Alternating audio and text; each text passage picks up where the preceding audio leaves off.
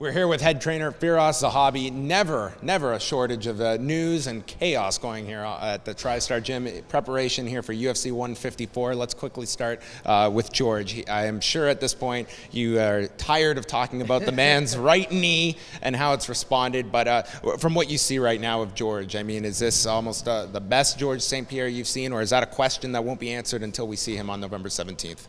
We won't know until November 17th, but I'll tell you, in practice, He's looking phenomenal, and he's performing at the level he was before and more. And he's more technical. He's wiser. He's smarter. He's more cerebral when he when he spars now. And uh, I really think he's going to do extremely well.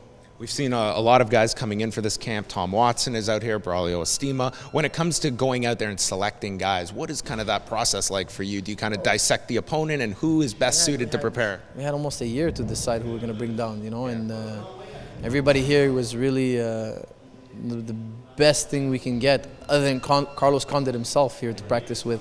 Uh, we have Lam, Lam from Tiger Muay Thai, who's a six-time world champion in Muay Thai. Braulio Estima, the pound for pound king of Jiu-Jitsu. I've rolled with many guys in Jiu-Jitsu. I mean, he's really the best. And uh, he was an incredible hand uh, in this game. Uh, John Danaher from Renzo Gracie Jiu-Jitsu comes up every single week to help us dissect uh, Carlos Condit's game. Four black belts every week from uh, New York. Uh, Brandon Thatch, identical size and reach of Condit, and his striking is tremendous. Probably the best striker in the welterweight, in the welterweight, any, any welterweight in the world. His striking is tremendous. Um, really, so many fighters. Nate Marquardt coming down, Rashad Evans even came down to lend a hand. I mean, we really have so much, so many guys, so many guys uh, pushing us and uh, helping us out.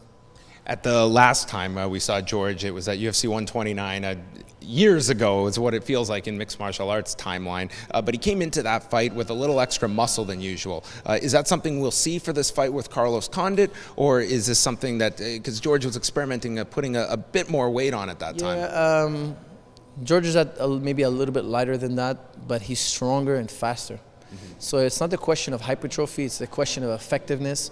His musculature now is more effective and performing better. And we have we hired new track coaches to help him. And I'm incredibly impressed with what they did with him. I'm incredibly impressed. His times have dropped. His performance are, are far better now, and uh, I'm very impressed with what they can do with him.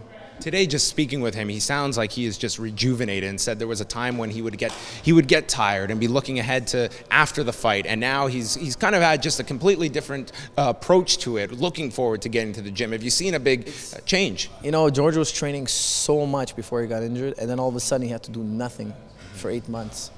Eight months is a long time and your world gets flipped upside, upside down. Then when you start training again, you can only do certain things. And when you're doing all these exercises, it's, it's not as fun as doing boxing or wrestling or martial arts. You know, that's the passion. That's where you know you could box for an hour and the, the time flies. But when you're doing little exercises, it's not always as motivating. George had to find his motivation, and now he's got it.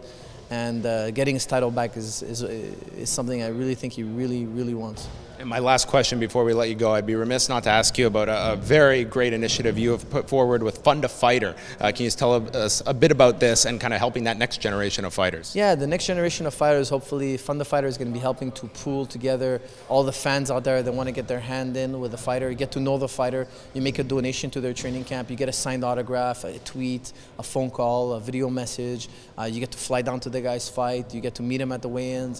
There's so many prizes to get and win, and uh, a lot of times if you if you go on Fund a Fighter, you see an up and comer that interests you, get to know them before they become superstars. Fantastic. Go to fundafighter.com for more information on that. And George steps back into the cage Saturday, November the 17th, UFC 154. Thank you very much for the time for us.